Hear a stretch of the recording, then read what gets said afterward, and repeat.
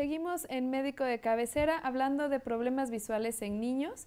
Vamos a hablar un poquito más acerca del tratamiento que se puede ofrecer en los errores refractivos, como estábamos comentando con la doctora Daí, miopía, astigmatismo, hipermetropía. Eh, entonces, bueno, ya hablamos de que una solución son los anteojos. ¿Qué otras opciones podemos tener? Tenemos otras dos opciones que son muy importantes.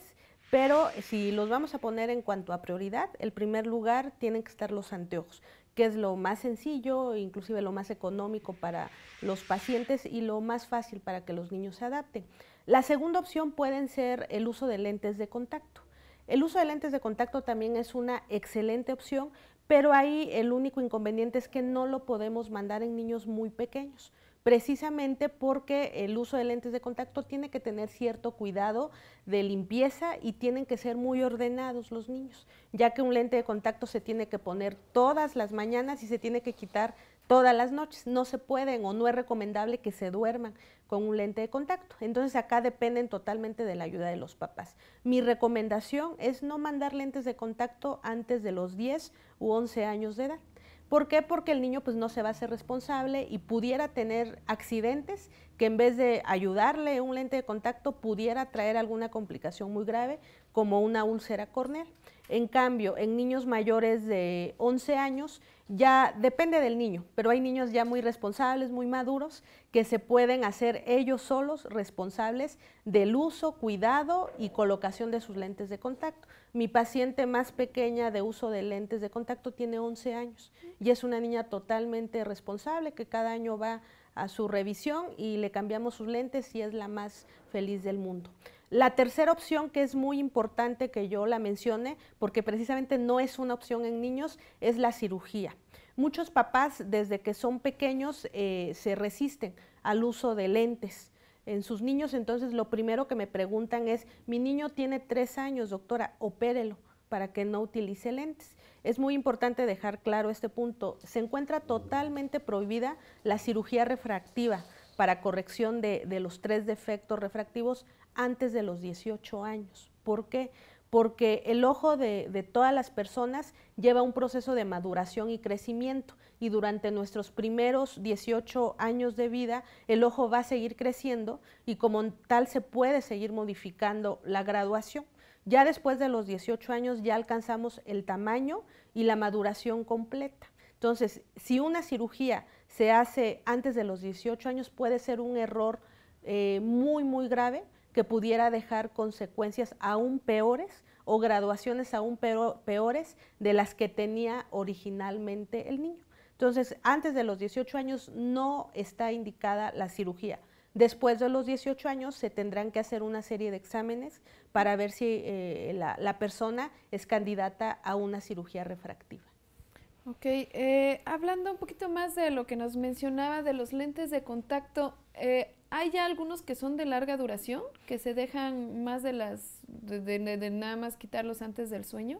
Sí, actualmente ya las industrias ya han mejorado y han desarrollado muchísimo la tecnología en los lentes de contacto. Ya existen los lentes de contacto que, que son los blandos y desechables o de uso prolongado hasta de un mes. Hay lentes de contacto que se pueden dejar sin quitárselos un mes y cada mes se tiene que estar desechando el lente y agarrar uno nuevo. En, nuestra opinión, eh, como oftalmólogos, nosotros siempre coincidimos en general, toda la comunidad oftalmológica, eh, en la recomendación de que es mejor que en la noche se quiten los lentes de contacto, porque a pesar de que los lentes de contacto ya son de tecnología muy segura, siempre el dejar un lente de contacto toda la noche, podría aumentar el riesgo de que se presentara una úlcera corneal.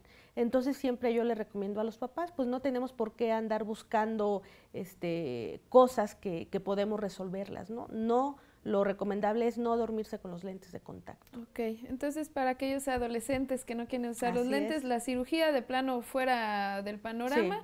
Y pues los lentes de contacto blandos de uso diario serían una, una buena opción claro. Ok, eh, hay otro problema ahorita que estamos hablando de adolescentes, que es el queratocono.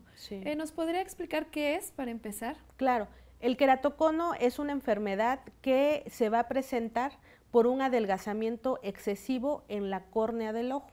La córnea es, es un lente en forma de domo que representa la parte más superficial o más salida del ojo. Así, si ustedes se ven sus ojos, la córnea es un lente transparente que va a cubrir la parte oscura del ojo. Esta córnea es muy, muy importante porque gracias a la córnea nosotros tenemos una visión eh, muy buena. La córnea forma parte del eje visual que principalmente está formada por la retina, el cristalino y la córnea. Entonces, el queratocono está muy relacionado a la infancia y a la adolescencia. ¿Por qué? El queratocono, al, definirse como un adelgazamiento excesivo de la córnea, está generalmente o muy frecuentemente relacionado con una enfermedad de la infancia que se llama conjuntivitis alérgica.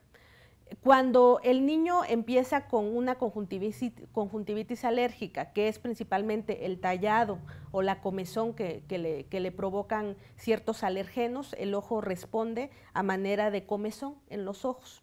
Nosotros debemos de tratar inmediatamente estas conjuntivitis porque la comezón o el tallado crónico en un niño puede resultar años después en un adelgazamiento de la córnea y esto provocar un queratocono.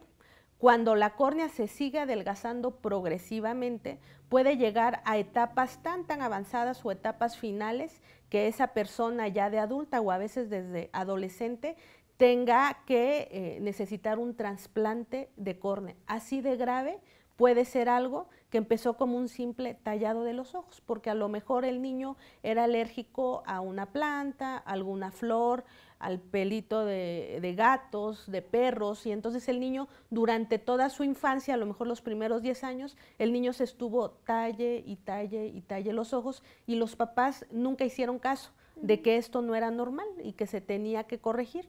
Entonces vamos a tener un adolescente con un problema ya instalado de, queratocono.